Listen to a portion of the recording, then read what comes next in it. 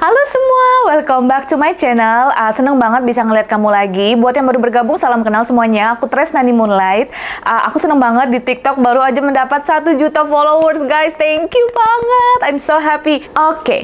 berhubung kita lagi ngomongin TikTok, nah hari ini kita akan ngebahas tentang uh, teknik manifestation apa aja yang viral di TikTok dari konten creator luar negeri uh, yang pernah aku coba dan berhasil. Apa aja? Let's get started. Oh ya teman-teman, sebelum kita mulai, aku mau mengucapkan terima kasih buat uh, community di Bali yang sudah datang ke acara gathering kelas offline kemarin. Ada sekitar 155 orang ya kan dan ini bunga salah satu dari peserta Brigita. Thank you so much. Uh, kemarin acaranya juga berjalan dengan lancar, relax dan aku suka banget sama vibes-nya. Banyak orang-orang yang high vibration dan positif aku suka banget. Buat teman-teman Jakarta, tunggu ya. Kita akan ngadain buka bersama bareng di bulan April awal. Tapi pendaftaran belum dibuka, jadi kalian pantengin terus. Nah, terus buat teman-teman yang di luar kota gimana? Jangan sedih, aku lagi buka pendaftaran kelas online seminar tentang Law of Attraction, manifest, apakah hidup ini hasil dari manifestasi kita atau memang sudah destiny. Terus kita akan ngebahas tentang gimana cara kontrol negatif energy, gimana supaya selalu ada di high vibration, gimana cara manifest sesuatu dan doa tembus ke langit gitu kan. Pokoknya masih banyak hal lainnya. Pokoknya banyak banget yang akan aku sharing. Uh, kalian juga bisa ngasih testimoni, bisa tanya jawab.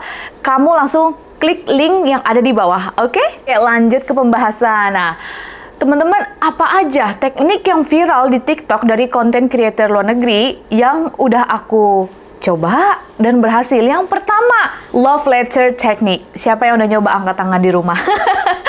Siapa yang udah nyoba dan berhasil?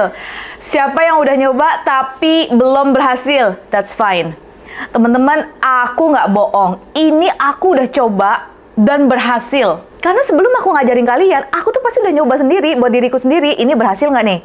Kalau nggak berhasil, aku nggak akan ngajarin kalian. Jadi, love letter technique itu seperti apa? Aku pernah bahas di video YouTube sebelumnya yang ini. Aku juga pernah bahas di TikTok versi singkatnya di video yang ini. Gimana cara membuat seseorang hubungin kamu, ngajakin ketemuan, obses, ngejar-ngejar, minta maaf, atau apa pun yang kamu mau menggunakan love letter technique. Ini adalah salah satu teknik manifestation yaitu law of assumption. Tapi disclaimer, kita nggak bisa ya membuat seseorang buat nikahin kita. Karena jodoh itu di tangan Tuhan dan manusia memiliki free will, jadi nggak bisa dimanifest menggunakan teknik ini. Tapi kalau kamu hanya ingin membuat seseorang obses, uh, ngejar kamu, hubungin duluan, telepon, ngajakin ketemuan, uh, minta maaf, ngajakin balikan, whatever, ini bisa ya.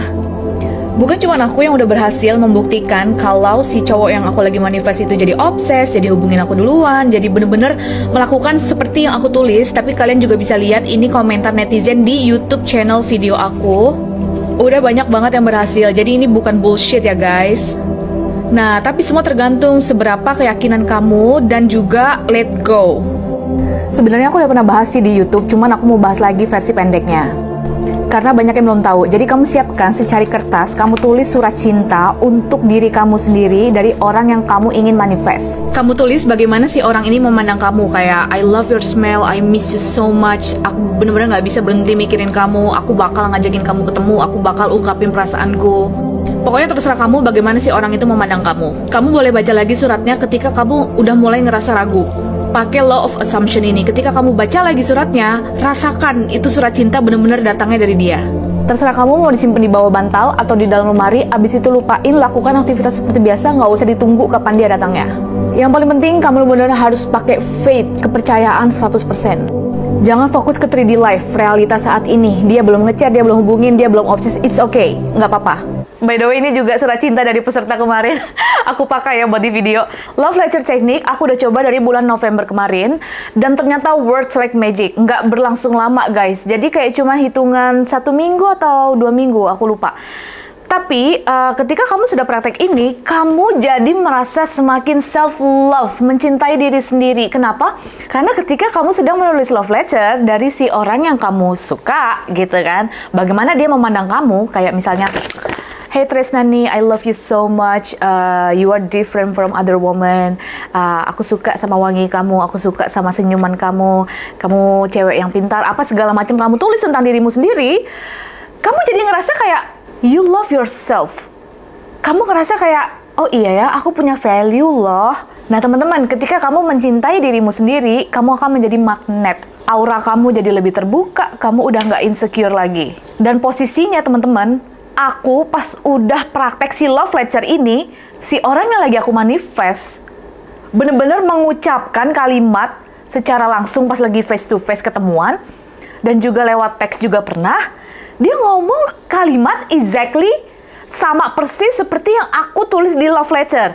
Teman-teman, bukan hanya aku yang berhasil melakukan si surat cinta ini, tapi kamu bisa ngelihat semua komentar-komentar netizen di seluruh video-videoku di TikTok, Instagram, YouTube. Kamu bisa lihat banyak banget yang berhasil ketika melakukan teknik love letter ini. Serius deh, aku nggak bohong. Sampai sekarang si orang yang lagi aku manifest ini, kalau lagi teleponan atau lagi chattingan, itu dia selalu ngomong kayak, you're different from other woman. Kayak gitu. Aku langsung kayak, wow, guys, kamu akan menyadari betapa powerfulnya si surat cinta teknik ini ketika apa yang kamu tulis tentang dirimu sendiri di mata dia, itu menjadi kenyataan. Jadi besok-besok tuh kamu langsung kayak pengen ngeset apa lagi ya, kayak, oke, okay, next aku mau membuat orang ini berpikir tentang aku tuh gini-gini. Bukan hanya soal lawan jenis ya, tapi juga kamu bisa menggunakan si law of assumption ini untuk calon mertua, HRD, klien, customer, bos, kayak gitu. Oke, teknik yang kedua adalah teknik whisper atau teknik berbisik gitu kalau kata orang Indonesia ya. Itu caranya gimana teman-teman? Nah ini ya, kalian bisa praktek. Aku udah berhasil hanya dalam hitungan waktu satu minggu, guys. Wow. Jadi gini, caranya ya kan, boleh dicatat. Teknik whisper atau berbisik adalah ketika kamu sebelum tidur membayangkan kamu ini menjadi hantu gitu loh. Kamu menyelinap masuk ke ruangan si orang yang lagi kamu mau manifest. Di manakah kamu berada saat itu di kamar dia, di ruang tamu, di TV, di taman, whatever. Kamu menyelinap masuk, kamu lihat si orang itu lagi ngapain? Apakah lagi duduk, lagi tiduran? Nah, kamu jalan ke arah dia sebagai spirit atau makhluk halus gitu yang nggak bisa dipandang sama dia ya. Dia nggak tahu kalau kamu ada di situ. Kamu ke sampingnya dan kamu bisikin dia. Kayak kamu lagi menghipnotis dia kamu nyuruh dia untuk melakukan sesuatu. Misal, kamu akhirnya ngechat Tresnani. Kamu akhirnya ngehubungin Tresnani, kamu mengungkapkan perasaan, dan kamu mengajaknya ketemu. That's it. Udah, kamu bisikin kayak gitu, and then setelah kamu bisikin dia, abis itu kamu pergi. Tapi jangan sampai kamu obses.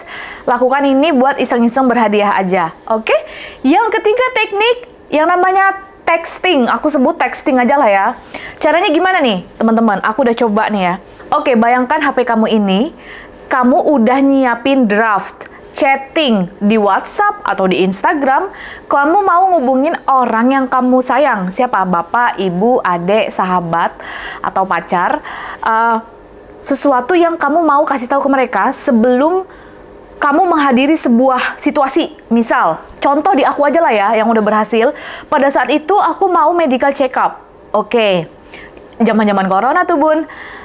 Aku OTW ke rumah sakit, aku udah nyiapin tuh chat di WhatsApp. Tapi belum aku kirim, masih berbentuk draft, oke? Aku bilang ke mama gini, Ma, alhamdulillah hasilnya bagus, nggak ada yang perlu dikhawatirkan. Dah, belum aku kirim aku deg-degan banget tuh sepanjang jalan kan. Aku deg-degan namanya juga medical check up ya. Siapa sih yang nggak deg-degan? Terus teman-teman ketika itu bener-bener hasilnya bagus langsung aku pencet itu. Aku kirim.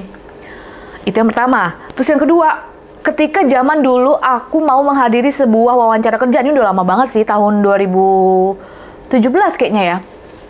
Nah sebelum aku masuk ke ruangan si HRD wawancara kerja aku udah nyiapin chat di WhatsApp ke temen deket aku. Jadi kayak, yes, alhamdulillah aku seneng banget akhirnya diterima, thanks God, gitu. Terserah kamu mau ngomong apa.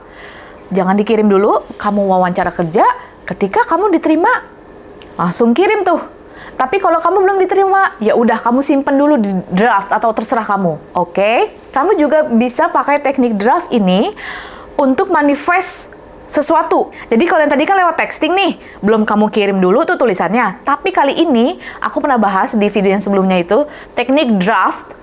Nah, teknik draft ini pernah aku pakai dan berhasil ketika dulu manifest laptop MacBook. Kalian tahu apa yang aku lakukan? Jadi pada saat itu aku udah nyiapin caption draft di notes HP. Oke? Okay? Aku tulis captionnya mau seperti apa. Padahal aku belum beli laptopnya tuh, tapi aku udah siapin captionnya. Kayak thank you banget akhirnya aku bisa beli laptop ini lalalala gitu kan. Ini kayaknya dua tahun yang lalu sih, tahun 2021 aku belinya. Nah, sampai pada akhirnya ketika aku berhasil benar-benar beli si laptop MacBook ini, baru deh tuh si draft di notes tadi aku jadiin caption di Instagram. Atau buat kalian yang lagi mau manifest jodoh ya kan, meskipun calonnya belum ada, that's fine.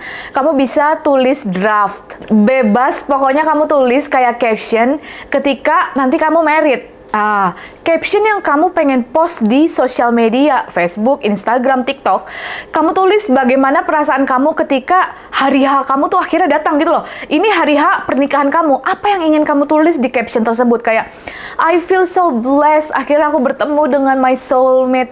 He love me so much. I love him. Uh, acara hari ini berjalan dengan lancar. Thank you so much. Gitu-gitu. Terserah kamu. Nah, itu bagian dari teknik manifestation. Ketika aku Google nih ya, kalian bisa lihat lihat di Google tulisannya gini, when we act as if, ya kan, apa yang kita mau sudah menjadi realita dan percaya kalau kita nih ya orang paling beruntung gitu loh, orang paling beruntung di dunia ini, uh, apa yang kita mau tuh gampang banget masuk. Jadi teknik ini viral gara-gara ada konten creator di TikTok bernama Laura Galebe, uh, usia 22 tahun dari TikTok yang bulan Desember sempat ngepost tentang Let's talk about the lucky girl syndrome. Nah, itu apa maksudnya? Nah, ini adalah salah satu dari teknik law of assumption. Ini semua bagian dari mindset. Jadi kayak I am the most lucky girl in the world. Kayak aku orang paling beruntung di dunia ini. Contoh, bagaimana kamu menerapkannya si lucky girl syndrome ini versi aku ya. Jadi uh, kamu bisa ngeset mindset kamu, terutama ini kan masih di awal-awal tahun ya 2023. Kamu bisa nih bikin di kepala, tanamkan di otak kalau kamu nih orang paling beruntung. Contoh, oke. Okay, aku adalah orang yang paling beruntung di dunia ini karena tahun 2023 akhirnya aku bisa uh, mendapatkan gaji dua digit. Akhirnya aku bisa bekerja di suatu tempat yang aku suka banget. Akhirnya aku bisa deal sama klien 100 juta. Akhirnya aku bisa beli mobil baru. I am the most lucky girl. Aku orang paling beruntung. Apa pun masuk ke dalam hidupku dengan mudahnya. Semua kok kayaknya gampang banget ya masuk ke dalam hidupku. Dan by the way, ternyata aku sudah praktek Lucky Girl Syndrome ini dari beberapa tahun yang lalu. Kayak aku tuh ngerasa everything comes into my life effortlessly. Gampang banget semua proses gitu. Termasuk kayak aku bikin uh, kelas online, aku nggak perlu pasang iklan, dan kayak gampang banget menjaring customer gitu. Terus kayak aku ngerasa uh, jualan apa pun tuh gampang. Misalnya kayak e-book, misalnya jualan buku scripting, itu kayak gampang tanpa aku harus pasang iklan, tanpa aku harus invest ngeluarin modal di uang segini segini segini gitu. Nah, mindset seperti ini bisa kamu pakai kayak aku orang paling beruntung. Semuanya kayaknya gampang banget datang ke dalam hidupku. Tapi bukan berarti kita tak kabur tuh bukan. Ini sama saja ketika kamu tuh berprasangka baik gitu loh berprasangka baik dengan dirimu sendiri dan juga dengan kuasa yang di atas. Oke okay guys, kayaknya itu aja teknik viral TikTok yang kita bahas hari ini. Kamu bisa coba dan percaya deh sama aku powerful, oke? Okay? Uh, pakailah teknik manifest yang menurut kamu nyaman dan cocok ya. Uh, yang terpenting adalah apa keyakinan dan juga feeling dari hati. Uh, jangan sampai antara otak, ucapan dan hati nggak sinkron, uh, oke? Okay? Teman-teman, uh, jangan lupa buat yang mau ikutan kelas online, seminar, langsung join ya. Klik link yang ada di bawah. Kita tunggu. See you in my next video. Bye-bye.